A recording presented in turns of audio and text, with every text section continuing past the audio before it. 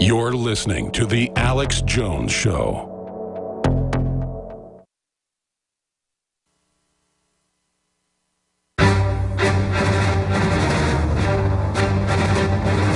Big Brother, mainstream media, government cover ups.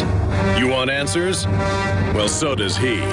He's Alex Jones on the GCN Radio Network. And now, live from Austin, Texas, Alex Jones.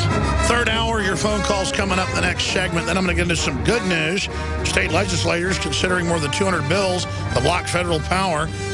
And going back to our guest, the author of The Colder War, Marin Katusa, I see globalist oppression, globalist domination forcing states, counties, cities, micro-regions around the world to just stop complying.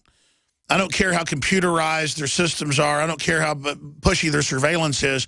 I've noticed that in the face of some of the technocrats personally, we've just operated how we want to and done what we want to.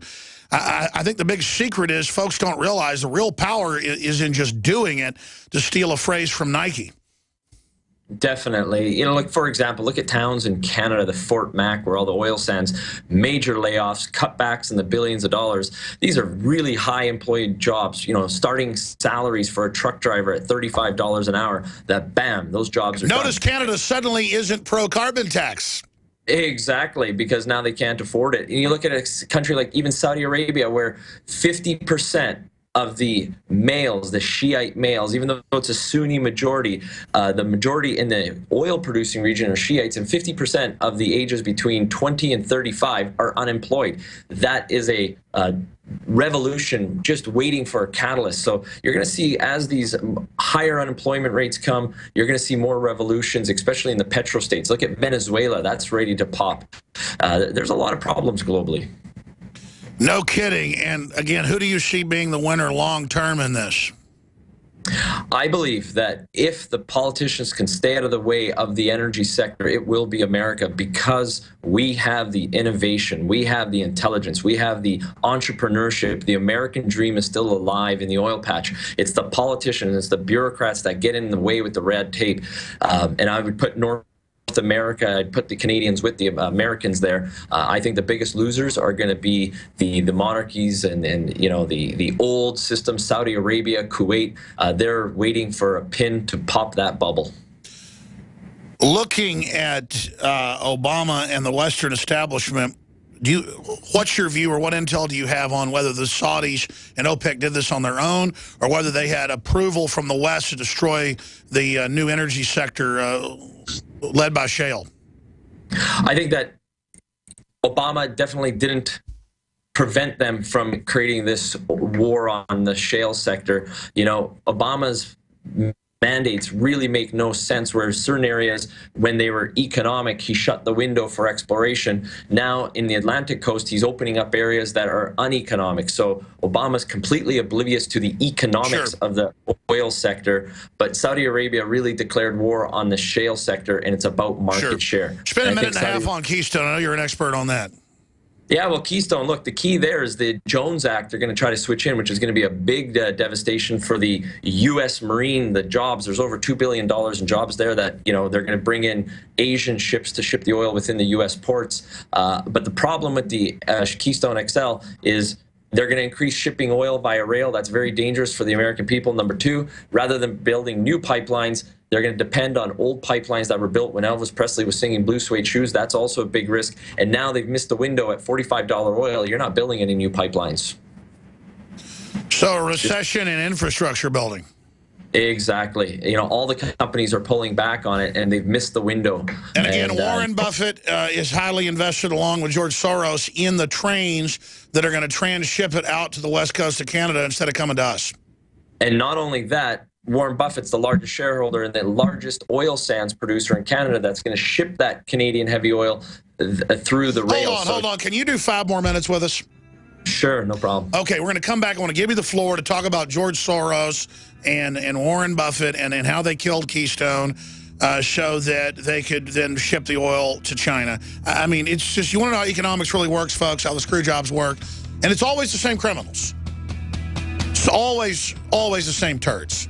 Uh, we're going to have a final uh, talk with him, then go right to Walt and others that are patiently holding. Stay with us. I'm Alex Jones.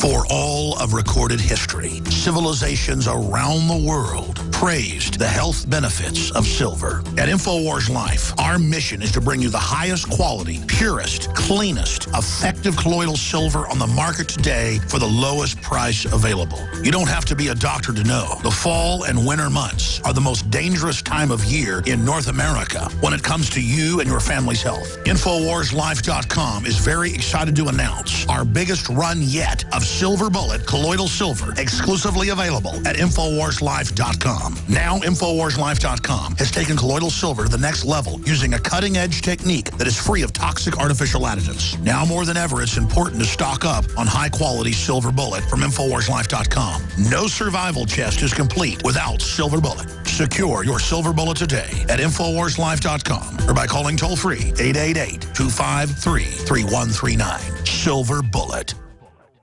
The average person's life is filled with unexpected challenges.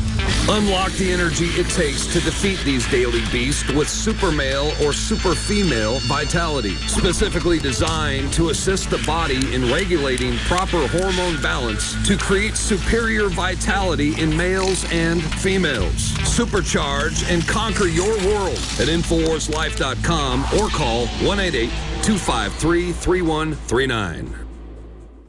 The government's Department of Homeland Security is buying up loads of ammo. At the same time, they're restricting civilians' rights to own and purchase firearms. Can you put two and two together? Infidel Body Armor can stop every round, including hollow points and 308 sniper rounds, is reasonably priced and fully legal. But for how long? Go to InfidelBodyArmor.com, spelled I-N-F-I-D-E-L bodyarmor.com. Infidel Body Armor. Just won't quit. Year after year, we watched the threat steadily increase. And now, this winter has been the worst on record when it comes to our immune systems and health. For more than two years, InfoWarsLife.com has been watching this crisis intensify, and Ancient Defense Herbal Immunity Complex was our answer, using a proprietary process that takes ancient proven herbs and combines them with modern science. This powerful and affordable formula contains more than 14 key herbs and extracts, including echinacea, ginger root, elderberry, golden seal root, a proprietary yin chiao formula, and many, many more. I take it, and so does my family. It's made in the USA, gluten-free, alcohol-free, no artificial flavors or colors, and not tested on animals. Take advantage of this introductory offer for Ancient Defense, normally $19.95, now only $14.95. That's 25% off. Visit InfoWarsLife.com or call 888-253-3139 to secure your Ancient Defense.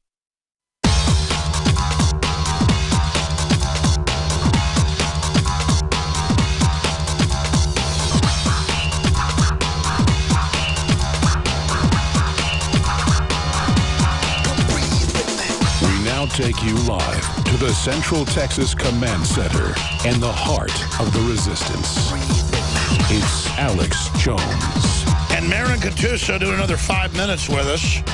The cold, colder war, how the global energy trade slipped from America's grasp. Can't wait to read this book. I've only scanned over it. Very informative. And he is the chief energy strategist for Casey Research, also the leader and owner of one of the largest uh, copper mines in Canada. One of those evil entrepreneurs that actually goes out there and explores and builds things. How horrible. You're just supposed to fly around in jumbo jets at taxpayer expense with red carpets to give speeches about how poor people need to be more poor for the earth. Uh, so Marin uh, is our guest for a few more minutes. Then we're going to go directly to your phone calls and a bunch of really important news I haven't gotten to yet.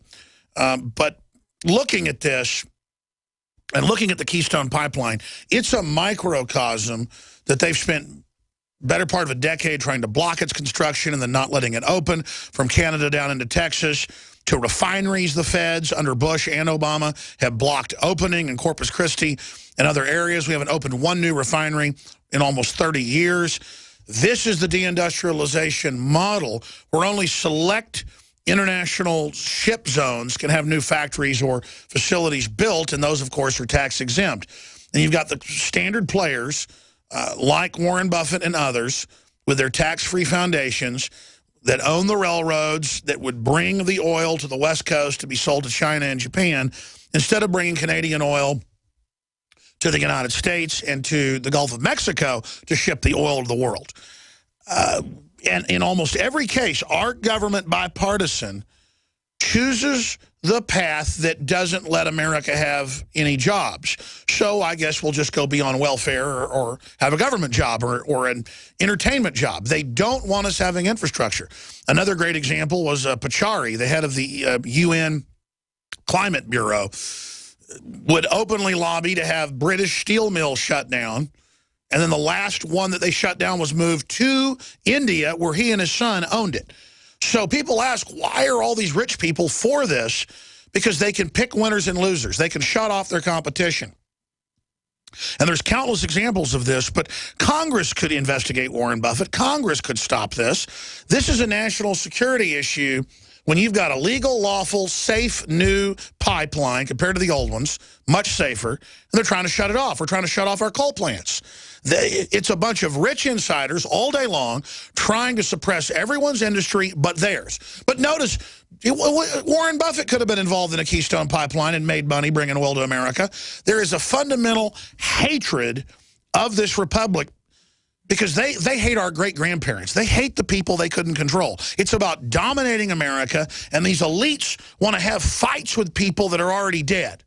Even though they run this country, they instinctively hate the West and want to destroy it. That's my view on this. Give me your take on it, uh, Marin, and then I want you to break down the details of the Keystone Pipeline and, and why people like Warren Buffett killed it. Well, Alex, you bring up some great points here. For example, let's take Warren Buffett. Not only is he the sole owner of uh, Burlington or Santa Fe, which brings all the oil out of the oil sands into the U.S. to the north, to the west, to the east. But more importantly, you know, there's this misconception that this Canadian oil is so dirty and it's bad. But why is Warren Buffett, the American legend in investing, one of the largest shareholders of the the largest oil sand producing company called Suncor. And yet, you know, he's quietly moved in there and become a major shareholder. And that oil now is controlled through the shipping of him. And isn't it convenient that the pipeline isn't built because he wouldn't have as much control in his railways wouldn't be supplied. Now, the growth of the rail, uh, shipping oil via rail has increased by over 20 times since Warren Buffett bought the railway. Is it a coincidence? Hell no. Number two, you look at George Soros, you know, he's trying to be seen as a, you know, a renaissance man globally. He has quietly built up a position in uh, the largest unhedged U.S. uranium producer. Now, that doesn't really fit his image, but yet now he's getting into the U.S. uranium sector through Uranium Energy Corp, and now he's become one of the major shareholders in that company. So these guys have an image that they portray in public but what they're doing with their dollars is very different and they build up it quietly. So that's something that's really important to understand. And what's important is they use their political control exactly. to then manipulate and not let their competition operate in the market that's right. It's very un-American what's going on here, especially with the Keystone XL, which is it's not only environmentally safe for the environment, for the people, it makes all the sense economically. It's all high-paying jobs. Everything about it makes sense. And most importantly, let's get rid of the riskiest way to ship oil is via uh, rail, Okay, it's 30 times more likely to have an accident shipping oil via rail than a pipeline. And let's get rid of these old pipelines that were built before the 1960s. They were never designed to still keep control of uh, moving the oil through these old pipelines. And I was so, about to say, you can track this, though. It's the same usual suspects, Soros and others that are financing the well-meaning Hollywood people that go and tie themselves to the pipelines and say, don't build them, it hurts the earth. Oh, you're going to kill the caribou. Oh, you're going to kill this and that. When those pipelines are just incredibly safe and good compared to to to trains.